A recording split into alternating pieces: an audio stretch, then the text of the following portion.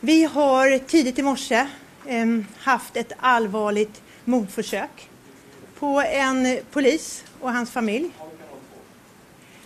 Klockan 03.20 kommer det in telefonsamtal till polisen om skottlossning i ett bostadsområde. Patrull åker genast dit. Ehm, kan konstatera att det har skjutits rakt in i ett hus där en polis, hans fru och små barn bor och är hemma allihopa.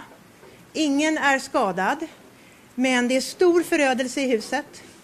Det är en mängd grovkalibriga eh, patroner som ligger utanför.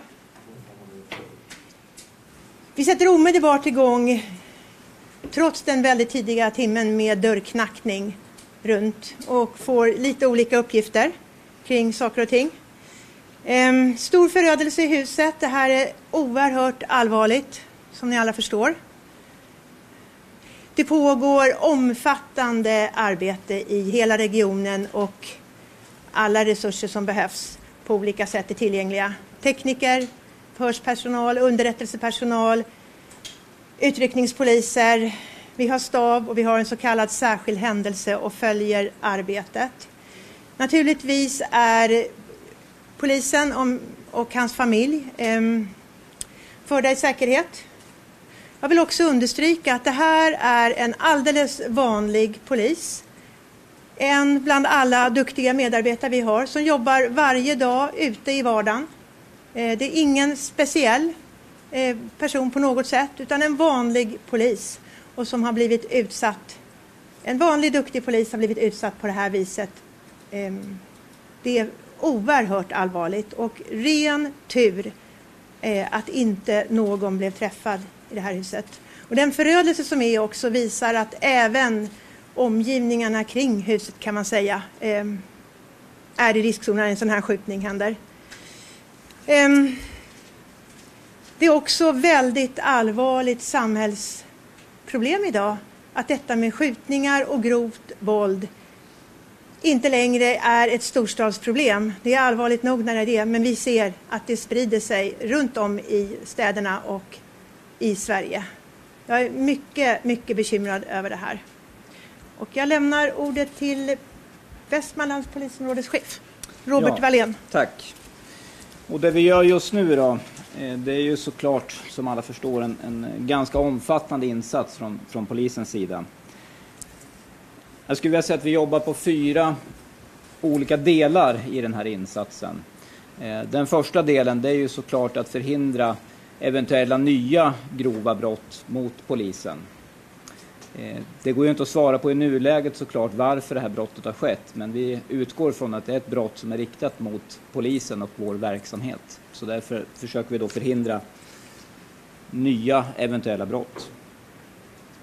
Den andra delen är ju givetvis att eh, utreda det här brottet eh, för att vi då ska kunna gripa den eller de som har eh, begått det här grova brottet. Och där lägger vi stora resurser och vi har hjälp från hela polisen, både regionalt men också nationellt. Den tredje delen vi jobbar med det är också att säkra en bra arbetsmiljö för våra egna medarbetare. Som Karin sa så är det här en vanlig polis som har blivit utsatt för det här brottet. Och då handlar det dels om att omhänderta de kollegor som har eh, blivit drabbade direkt eller indirekt. Men det är också att säkra att vi kan jobba under bra förutsättningar framåt. Och den fjärde delen som vi jobbar med just nu, det är att vara ute och vara synliga, jobba ihop med kommunen för att skapa trygghet i Västerås och omgivningen här omkring. Mm. Kan du säga någonting kanske Lars om hur vi jobbar just i Västerås där du är chef? Ja, vi jobbar ju mot den problembild vi har och det här polisen är en del av det, det arbetet eh, som bedrivs varje dag.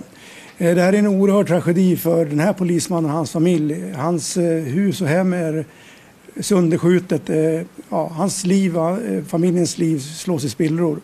En oerhörd eh, tragedi för honom och givetvis för alla andra medarbetare här i, i Västerås eh, framför allt, men även övriga kollegor i landet. Det är djupt tragiskt. Eh, vi har ju kontakt och försöker stötta den här medarbetaren så gott vi kan och stötta övriga medarbetare här i vårt eh, område. Det är ju en oerhört jobbig situation för dem och för oss alla. Eh, ja, som vi har sagt jobbar vi brett med det här och vidtar de utredningsåtgärder och de åtgärder som vi finner lämpliga i det här och vi kommer fortsätta ointresserat att jobba mot eh, den problembild vi har i den här staden. Vi kommer inte backa med anledning av det här utan vi måste fortsätta att arbeta hårt mot de problem vi har. Bra, och precis som, som Lars säger här, vi jobbar hela regionen väldigt offensivt. Det, sådana här händelser får oss att bara arbeta än mer offensivt och ni förstår säkert att det är inga vanliga normala människor som gör så här.